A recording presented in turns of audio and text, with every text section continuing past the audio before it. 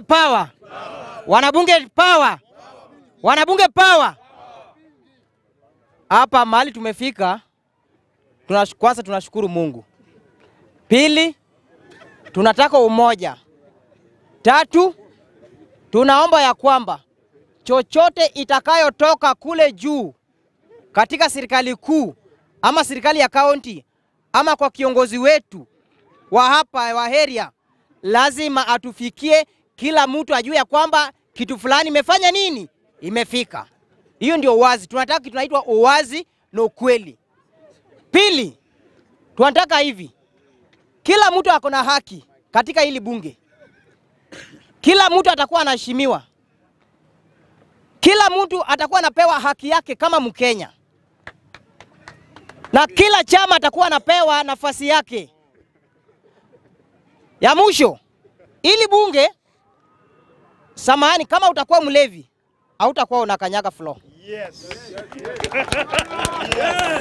Hiyo iko sawa. Yes. Hiyo iko sawa. Samahani, muniuwe radhi, muniuwe radhi. Iwapo umepata kitu kidogo, tafadhali, katika under my leadership hautapewa floor.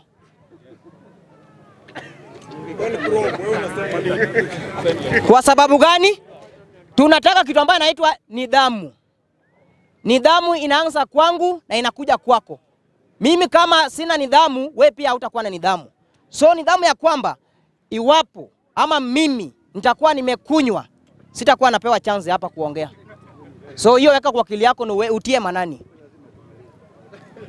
Ya mwisho, hii bunge nimeona tangu nikuwe nimezaliwa nikakuwa mwanasiasa nikajua kila kitu hapa kuungana na siasa. Wakati mbunge yote amechaguliwa, hata kama ameenda- tam tano ama tam tatu, wakati ule kuna yule ambaye ame, amechaguliwa wanaenda kuapiswa, wote wanakula kiapo.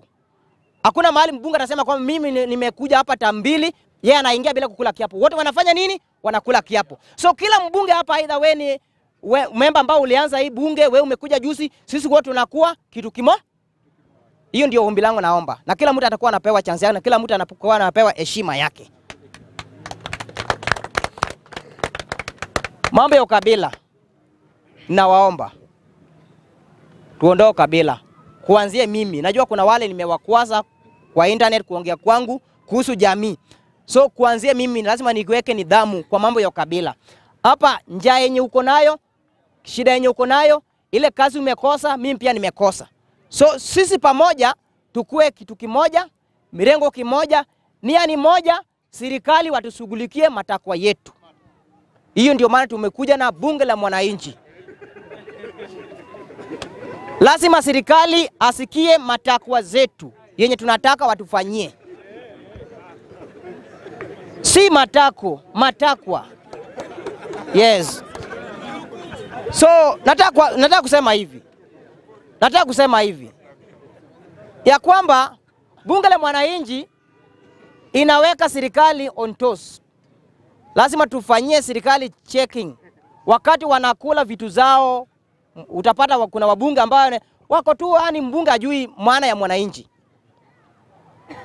Ni example tu, mimi pia nimezaa. Utapata mtoto fulani afuati ama afanye zile mambo unataka, ni mtoto tu kaidi tu kawaida. So kuna wabunge yake, wabunge pia wenzangu hapa wako tu hivyo. So tuanze nidhamu hapa, na hapa kuna viongozi na tufanye siasa safi tafadhali, under my leadership, kuanzia mimi, ondoa matusi.